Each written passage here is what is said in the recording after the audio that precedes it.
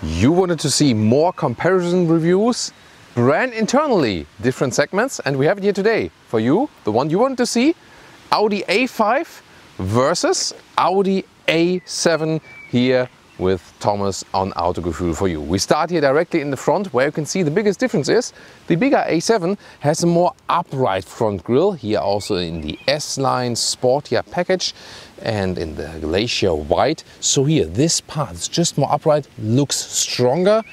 We also have a laser light here by the way, but both are available with matrix LED. Here you can see the A5 a little bit smaller and the front goes a little bit further down so looks a little bit smaller. It looks also really prominent, really aggressive on the road. Just in comparison to the A7, it looks a little bit more subtle. Which one is your favorite from the front? 4 meters 73 or 186 inches is the length of the A5 Sportback. There's a coupe, there's a convertible, and the Sportback is the five-door version here with the rear doors as well. And that beautiful fastback line. And the cool thing, both with A5 and A7, is that fastback rear hatch where it opens all the way and you can use these both kind of like an estate. At the same time, you get the great design. Here with 18 inch wheels here, by the way. And now it gets really exciting because the length difference between A5 and A7 is 23 centimeters or 9 inches. Let's take a look. Here you can indeed see it. It's basically also like the top of my fingers to my watch this is then the length difference between the A5 and the A7. It's not that visible when they stand next to each other. Here then at 4 meters 96 overall in length or 195 inches.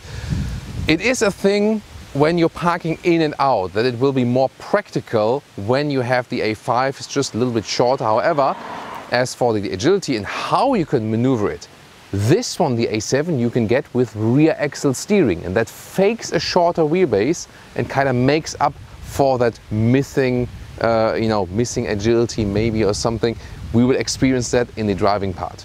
And to me, both A5 and A7 Sportback and also the A5 Coupe. These are my favorite Audis as for design. They just look awesome. Here also again exterior S-Line, 20 inch wheels here and that stretched roofline would like to hear your opinion. Our Thomas B, cameraman, thinks A5 is even more beautiful. I personally think that the A7, because it's just a little bit longer here, looks more massive and looks more beautiful. Would like to hear your opinion. In the rear, the main difference is that the tail lamps here are split. I have a modern, beautiful design. Overall very clean. Oh, fake exhaust police, AFAP, Autogefühl fake exhaust police, because the real ones are on the inside. District green is this color, by the way. and on the A7, we have this light strip that goes all the way through. That is to me, um, you know, just more strengthening the width, also a little bit more massive that rear, and a cleaner layout here, sporty honeycomb style in lower parts. So, yeah, to me, indeed, I love the A5 design and the A7 is probably the only comparison where I would I say this one loses to me in design. Well, loses. I found the A7 more beautiful, even more beautiful, but just in this comparison, otherwise the A5 Sportback is also a very beautiful car. Welcome to the interior of the A5 and it's very clean and sporty indeed. Here we have the S-Line interior beautiful fabric seat here. It's fabric on the inside, really sturdy, at the same time comfortable and also breathable. The thing is that in the US and in the UK, you can get the A5, as far as I checked the configurator, animal leather only. That's of course hit and miss. In Germany, you have a lot of options, not only this, but also, for example, with microfiber on the inside. Headroom wise, with 189 or 6 foot 2, Still plenty of headroom left. There's also a panoramic roof available. Here on the, wow, this brushed aluminum style, really clean and my favorite AC unit in the automotive industry. The user interface in the A5 is a little bit more simple still. Ah, great clicking sounds, awesome seat heating and so on. And also the drive select is, you know, with the haptic function, that's really great. 10 inch screen here since the facelift of the A5 family. Before you had a small screen without touch. Here now you have touch and then you had this MMI control knob. This one is gone now, so everything with touch as for the infotainment system.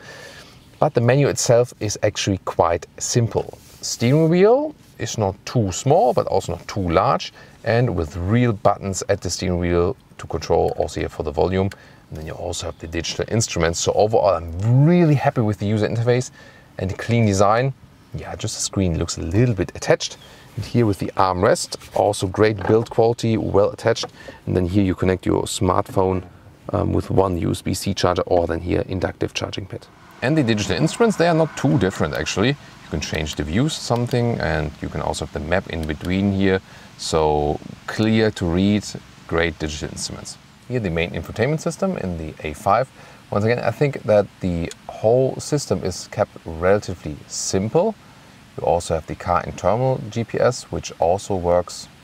Oh, there's central. Yeah, actually quite fine. That's fine. So and here, Apple CarPlay integration looks like this. So overall, I'm really happy with the infotainment system because it's kept simple actually. And here also how you control the car settings. Here's the drive select with the suspension. We have the adaptive suspension here in here without air suspension. That's also one of the difference in the A7. You can get air suspension. And here in the rear legroom, yeah, it does exactly fit with this recess here. Um, yes, I could sit a little bit more forward when I would also push the, the steering wheel more in, but when someone very tall is sitting in the front, it doesn't leave much legroom here in the rear. Of course, here the Sportback is better than the coupe version of the A5. Um, Headroom-wise, does work. That is no problem. And you know, the seating comfort in the rear is actually quite decent. Once again, if you're five tall adults, it is a problem. Also, a huge middle tunnel. So, mm, yeah, I mean, it's somewhat okay, but not vast offering of space. This will be different in the A7. Here we go now with the A7. A little bit more headroom and definitely more legroom. So this is a substantial difference. So if you want to drive with tall Ls in the front plus tall Ls in the rear, then of course the A7 is the better choice. Longer wheelbase means more legroom and the overall seating comfort here is also indeed better in the rear. Um, almost a little bit executive alike. Um, of course, you have also an armrest in the A5 here. The middle area is a little bit taller or a little bit wider. You can see it exactly right here. And you also have a more sophisticated climate unit here in the rear. But big middle console here, two USB-C chargers. So here, yeah, I mean, you have this split, but you can indeed use this one also with five Ls in the rear. The middle part is not as comfortable. Also headroom-wise is close, so this only for short periods of time, but four tall adults is absolutely great. Now the Audi A7 interior here in the front, also very clean layout. Also a 10 inch screen on top, but here it is integrated and doesn't pop out. And the past problem that this one here could be like squeezed and pressed, obviously have also fixed that build quality wise, so that is better. Still a lot of high gloss piano like lacquer used. Hmm, that's not so that cool. And also you have the additional screen in the lower part. I do prefer a manual climate unit. However, for a touchscreen temperature solution, it is somewhat cool. Um, yeah, indeed. uh, so I'm fine with it, although I would prefer the manual dial. So the user interface in the A5 to me a little bit more classic and simple, but here also beautiful layout the interior build quality and everything is just superb. There's like two USB-C chargers here. So yeah, really happy with that one. Also, still you have volume jog and real buttons at the steering wheel to control the digital instruments. And the seating comfort, well, first of all, once again, 1 meter 89, 602, also a lot of headroom. There's also a panoramic roof available as an option here. You do have a little bit more comfort, especially when you are very tall. If you're less tall than me, then maybe it doesn't make the biggest difference, but you feel a little bit more sophistication. Digital instruments, actually not a big difference then between the two vehicles and also here, once again, a very good overview. Oh, that is with high-speed automatic driving. It goes better, yeah, more rather like this. Also kept very simple this menu and also fast enough. Apple CarPlay integration here looks like this actually. So very well usable. You can also individualize your hotkeys on the left side. Here we do have the air suspension. That means that in the drive select, when you, for example, go to dynamic mode, the suspension is going down and it's raising again when you're in a comfort or in the auto mode. And what's really interesting is when both screens here play together, for example, you type a address search here, and then you see the lower part switches to this keyboard, keyboard, key, keyboard, come on, switches to this keyboard, or you can also write them in here, but you can also, of course, always use the voice input to get the GPS running. Oh, well, I don't understand. So many extras in this vehicle, but it doesn't even have a rear view camera. Of course, it offers one, but it's not included, at least here in this EU spec. So in Germany, you have to check that you do get a rear view camera. Gladly, for all our friends from the United States, a rear view camera is mandatory anyway by law. It should be the same in Germany, or at least, I mean, an A7 at that price should always include a rear view camera, no matter which market. I got the key, and here I can open the trunk here by pressing twice. It's a very impressive setup here, isn't it? And you can see, see if I'm in the highest position. Yeah, I can pretty much stand underneath both of them. And the trunk difference is here we have 465 liters with the A5. And you can see a meter or 40 inches hardly fits in here. So the width, the A7 is that much wider in the trunk and the length here is 1 meters and 6 or 42 inches. And here the A7 is that much longer. That's a basic difference and you can very well access everything. That's the cool thing with the Sportbacks. And of course you can also fold the seats. You can reach over here uh, and then fold it. There's no um, mechanism there. Reach over right there. But overall, so well usable like an estate. If we now get to the A7, where we have 70 liters more at 535 liters. And as I said, this is what you have more in length and about this is what you have more in width. So a little bit more flexible, a little bit more storage, also easy from that access. Um, and you can see because the car is a little bit longer also in the overhangs, I have to reach over here a little bit further. You can of course also do that from the rear. Overall, both are very, very well usable. Here, just a little bit more trunk. And now, ah, yeah, I have the gas struts as help. Engine-wise, well, it really depends on which model you pick. You have 2 liter 4 cylinders and 3 liter 6 cylinders on the petrol side and also on the diesel side. And it really also depends on the country. For example, the S7 and the S5 Sportback in Europe is diesel since a few years now why would they do that? So we had to go for like let's say a right size engine here, 3 liter V6, 340 horsepower for the A7.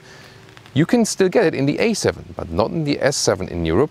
But in the US, you can still get the S7 also with the petrol engine. And the same also goes for the S5 Sportback.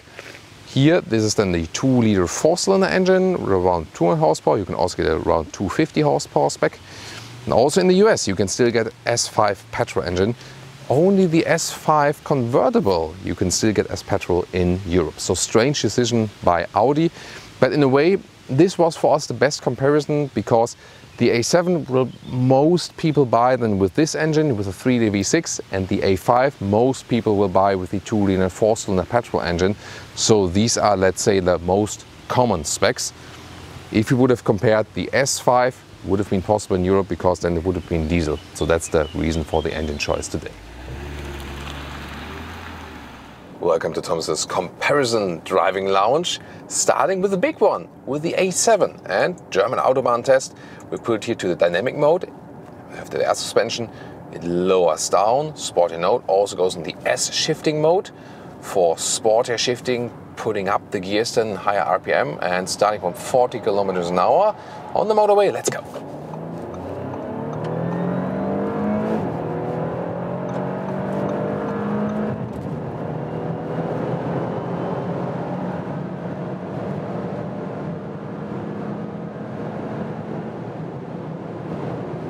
Club 200 kilometers an hour, 125 miles an hour, really stable, nice acceleration from the 3 liter 6 cylinder engine and also lane changing here when the air suspension is set on the stiffer node, really nice. Also good noise insulation here at higher speeds. Awesome traveling vehicle. It's one of the best vehicles for the motorway overall.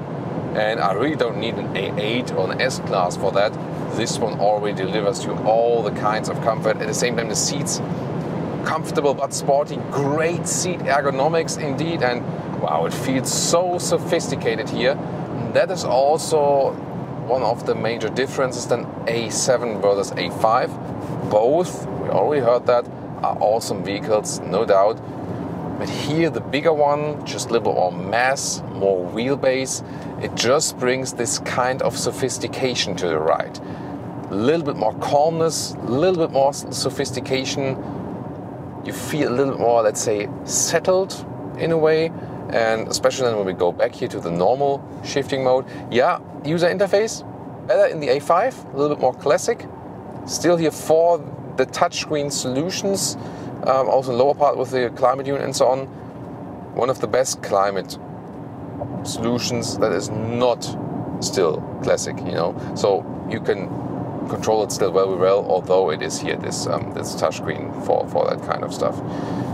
Here also you see some of the ambient lighting here in the lower part, especially that is beautifully done here. Really like that.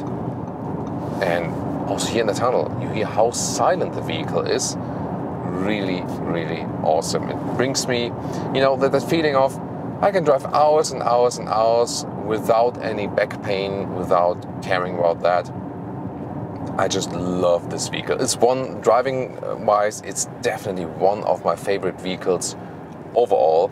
And as I said earlier, also this combination of you have the great design, yet the great flexibility, practicability with that head, yeah, this fastback trunk, that's called that way. Cruise control is set here on the lower part.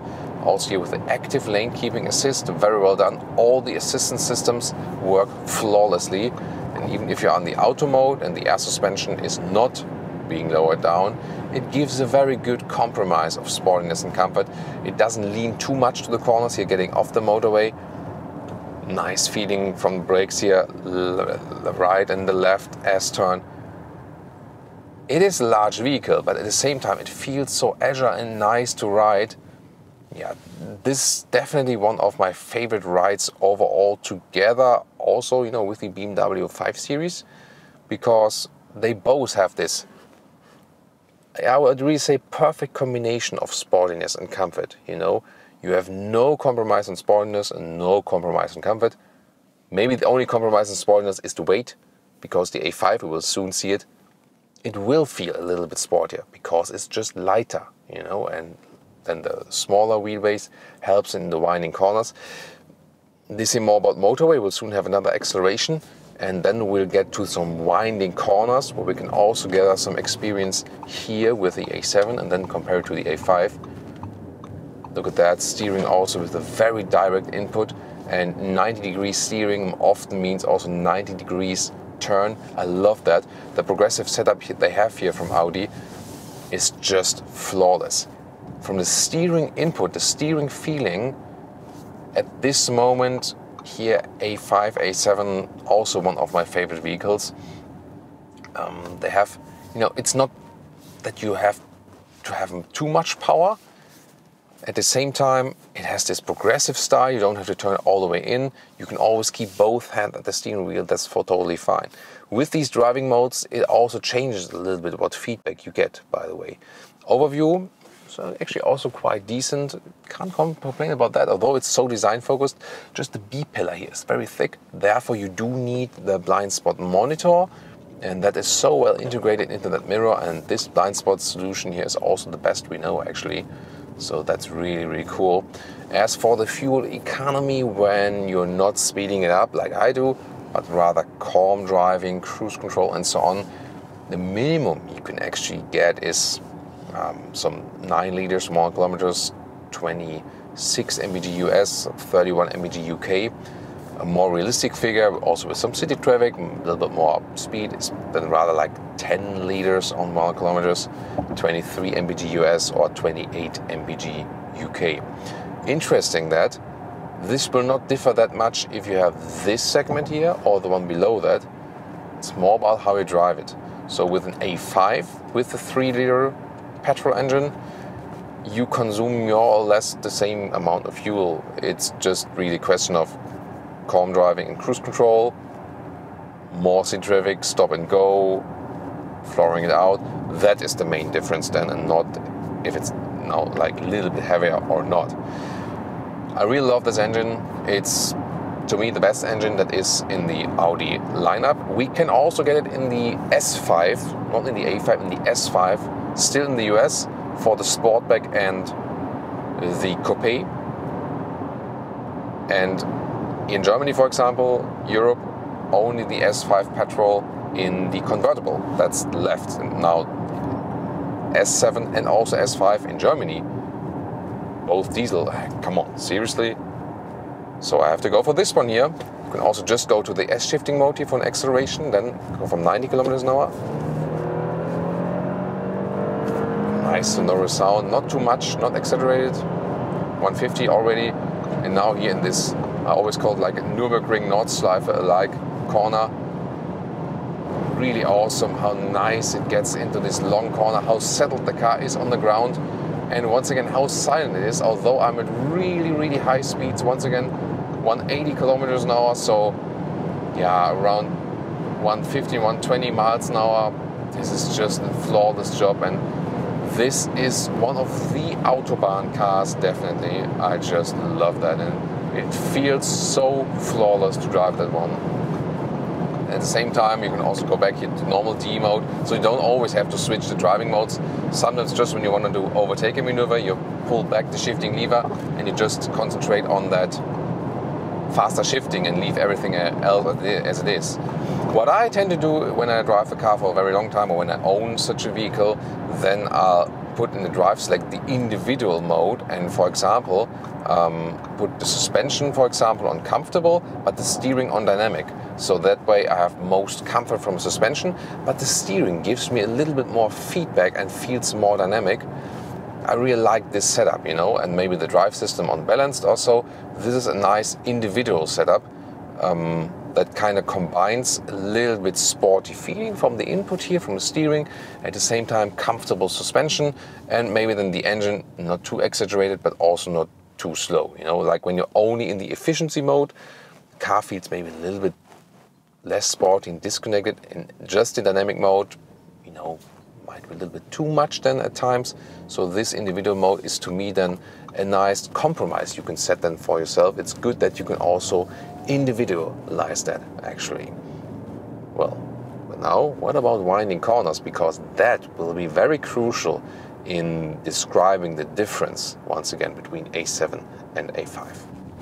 All right, once again, we go to the dynamic mode stiffer suspension and now also uneven road, but that air suspension, even in dynamic mode, does a good job. So this is something the A8 has as advantage. You can get the air suspension comparison to the S or A, A5.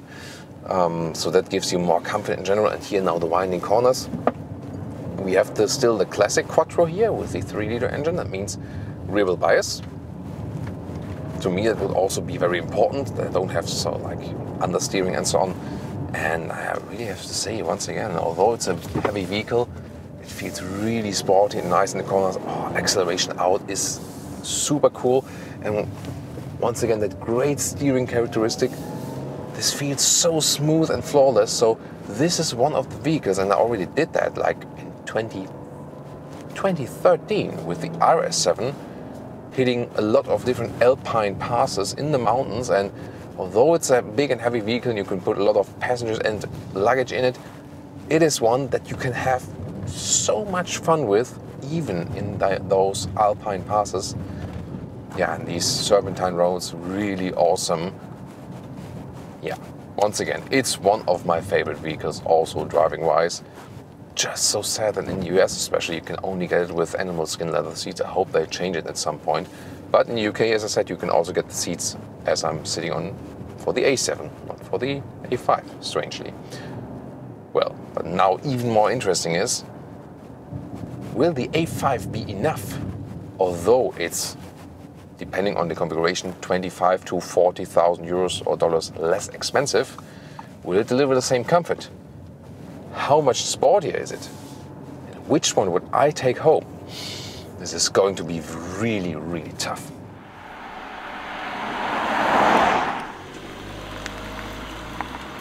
All right, now to the Audi A5 Sportback. This is very super interesting. We'll also put it here to the dynamic mode. And also in the S shifting mode for more boosting up the RPM. We also go back to 40 kilometers now here with the 2 liter engine. You can also get the 3 liter engine, but here just to give you a feeling for this one here, this engine will be mostly picked by the most A5 customers. Let's go.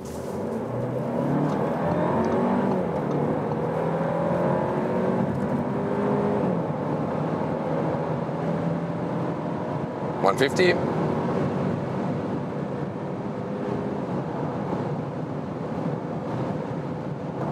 Now, of course, takes a little bit more time.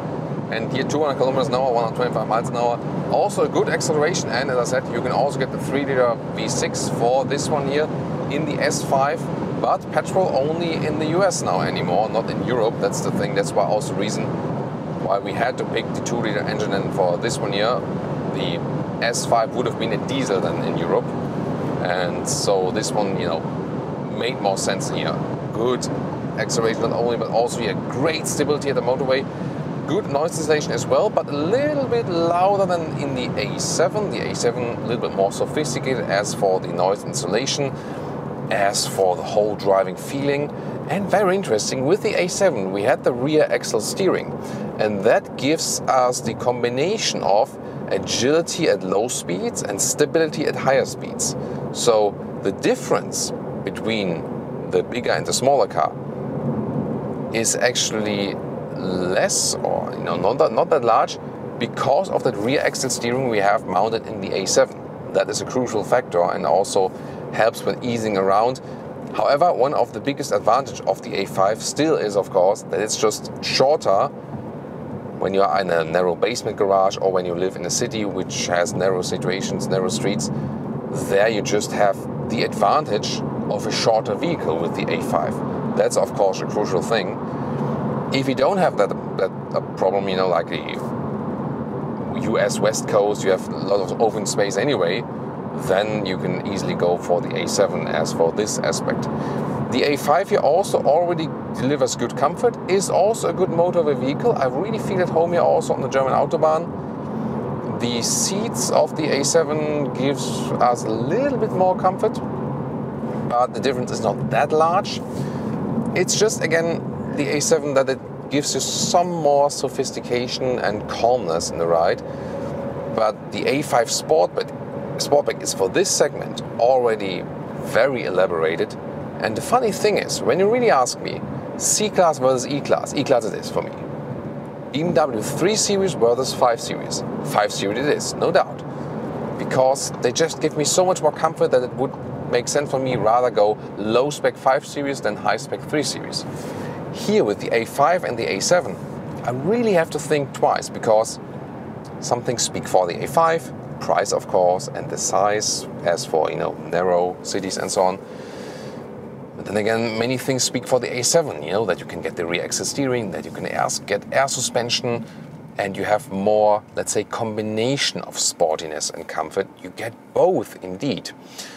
Yeah, but acceleration here was also good, will be even better, of course, than in the S5, especially when you get the petrol variants.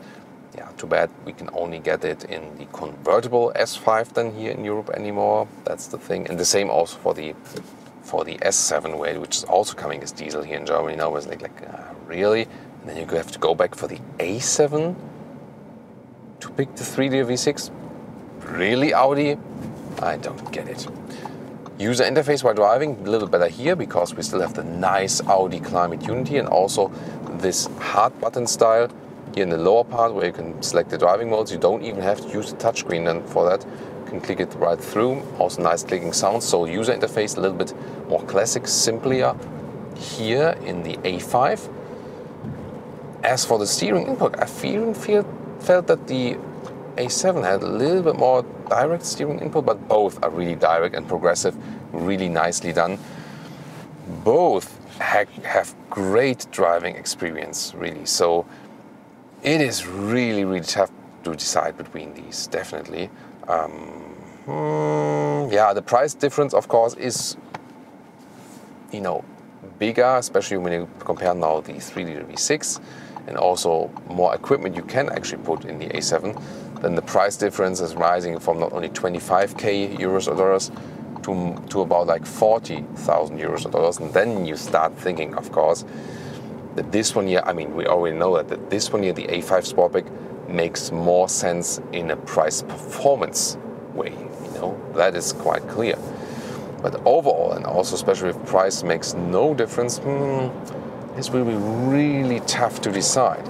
Soon we'll have the winding corner section again, where we then can feel is the A5 really that much more agile in these narrow corners? We'll soon experience that. First of all, one more time here with the cruise control and assistance systems.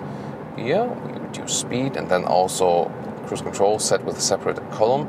It's such a great thing to always be able to easily activate and deactivate the lane keeping assist. Here, for example, maybe there's a boring tunnel part.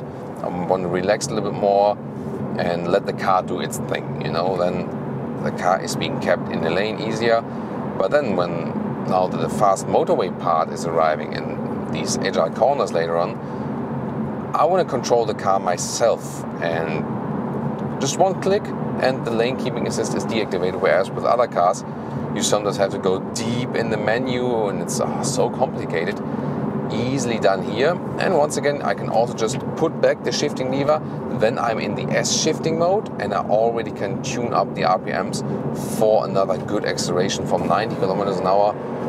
Yeah, and this engine has enough power, no doubt. It's just that the six cylinder yeah, feels more sonorous from the sound and a little bit more sophisticated and consumption difference is not that large actually. Here now, winding corner, slight bend, Nürburgring Nordschleife bend I always call it because it's high speed. Wow, it also feels so great on the motorway, really feels at home here, very calm and collected, lane changes are no problem even at high speeds.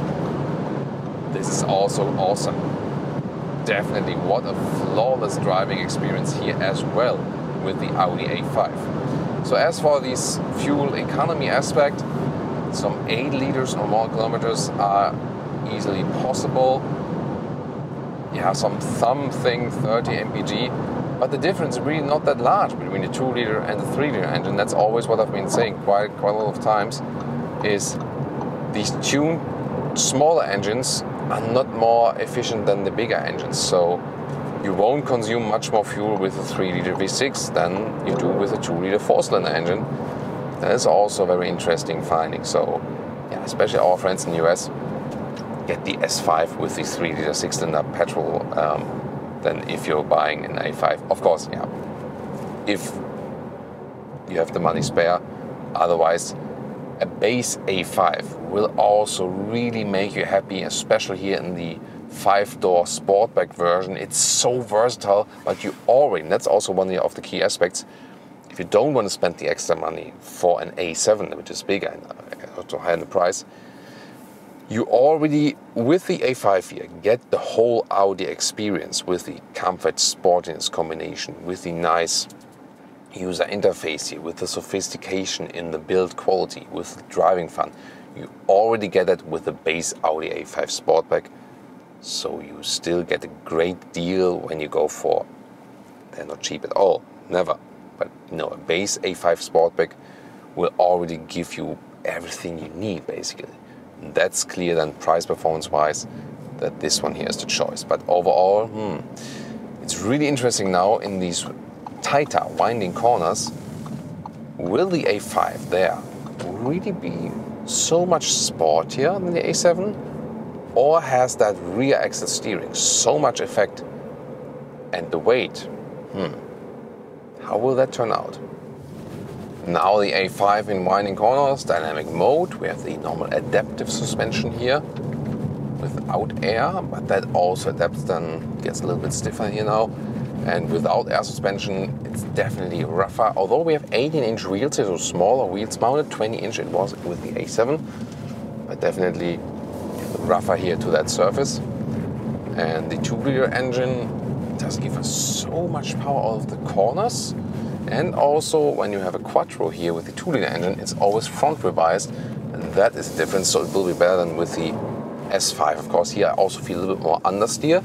Yes, the car is a little bit lighter, but that rear axle steering from the A7 definitely gave me, you know, also this really agile effect in the corners, so that I wouldn't really say it's much less fun in the A7 to do these winding corners. Yes, in the S5 petrol it will be different because you have rear wheel bias from that Quattro then and also a little bit more power. But here in this comparison now, mm, yeah, it's not that the A5 would bring so much more fun due to the less weight. Maybe a little, but then, as I said, only in the S5 with rear wheel bias. So uh, yeah, that's definitely to be noted. Hmm. But where does that leave us now? Well, well, well, what do we do now? Oh, that was some close parking, wasn't it? Yep. so, first of all, what about the pricing? The base price difference is about 25,000 euros or dollars. So for example, this one here in this spec starts around 45,000 euros in Germany. This one here at 70,000 euros. But if you add the extras, you get a difference here from these test vehicles of 40,000 euros. Yeah, and then you are around 60k and here around 100k. Of course, this one here with the 3 liter V6 engine. So definitely price performance winner clearly the Audi A5 Sportback. It delivers you all Audi you need basically. Great sportiness and comfort. Even more fun, of course, as the S5 petrol, which you can still get in the US also for the Sportback version. Here the A7. Design-wise, it is my favorite. And also the interior is a little bit more sophisticated as for the comfort and the space you have. The user interface, however, is better with the A5, I feel. Trunk space, both very well usable. Driving fun is great with both as well. Here, once again, rear axle steering and air suspension. The A7 gives you a little bit more sophistication and they indeed come very close. Said that earlier, C-Class versus E-Class or BMW 3 Series versus 5 Series. I feel there's a bigger gap than here with the A5 Sportback and the A7 Sportback because the A5 Sportback is already that good. If price would not play a role at all, I would still go for the A7 to get this extra of sophistication if I wouldn't have any space problems for parking in and out and so on, but the rear axle steering does have this. So I appreciate this little bit more sense of sophistication, sophistication from the A7. Yeah, and in the UK you can also get the nice microfiber seats here, by the way, for the A7. But in general, the offering of animal skin alternatives, in Germany it's great, both for both cars, in the UK and in the US is really not that good. They need to upgrade the choices right there. So A7 for me it is. My, you know, let's say one of my dream, uh, you know, like a fleet or something at home would be an A7 then for long road and then the A5 convertible for shorter roads and even more fun. That would be a great setup. Nevertheless, if you think about somehow take price into account, it must be then the A5 Sportback. So indeed, here the matter of price. What's your opinion? Tell me in the comments which one would you actually go for.